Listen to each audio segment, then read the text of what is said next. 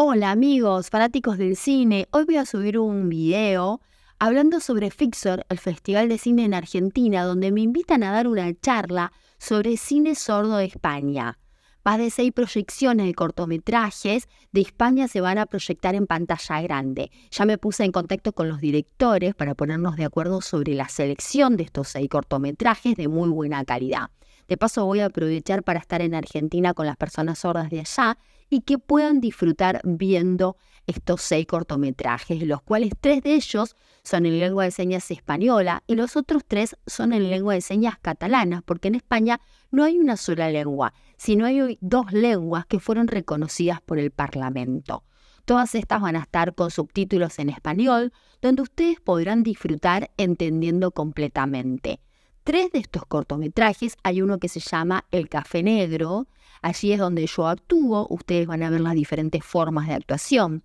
El segundo cortometraje se llama Naranjas, Naranjas, allí fui director, también actué, fue el guionista y eh, fui el de la idea van a poder aprovechar para verla porque es una película diferente. Y el tercer cortometraje, Te quiero pa, está hecho por jóvenes sordos, en cual yo enseñé a producirlo y estoy muy orgulloso de ellos. Ahora estos tres cortometrajes de Cataluña, el primero Jaque Mate, tiene una historia muy fuerte que no les puedo contar, ustedes tienen que ir a verla y realmente se van a sorprender. El segundo cortometraje, Recuerdos Peligrosos, tienen un misterio en Cataluña.